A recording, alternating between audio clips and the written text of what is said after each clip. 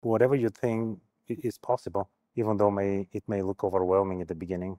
I think, you know, the programming landscape has obviously changed quite a bit. But for newer developers or even more experienced developers, like what do you think are the most essential skills today that people need to be picking up? In terms of technologies and stuff, I don't know, but uh, maybe even not terms of- direct yeah, technologies, but like I don't know some some broad. softer skills like curiosity. That that's what always kept me going because you just just curious, like how, why is this the way, this way? And and also I know this is a hard one. Um, I just believe that it's possible. yeah, yeah, yeah. Yes, because the we know the imposter syndrome is uh, prevalent in, in our community. Uh, so like I don't know how to do it. I don't know how to do it. What's wrong with me? that sort of thing.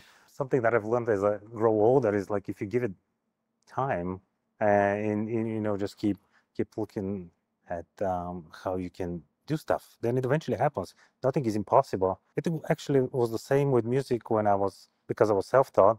So I'll try you know some some fast lick on the guitar. Some things work kind of okay quickly. Some of them on, require more time. So I just said, ah, I'm- I guess I'm not good enough for that part.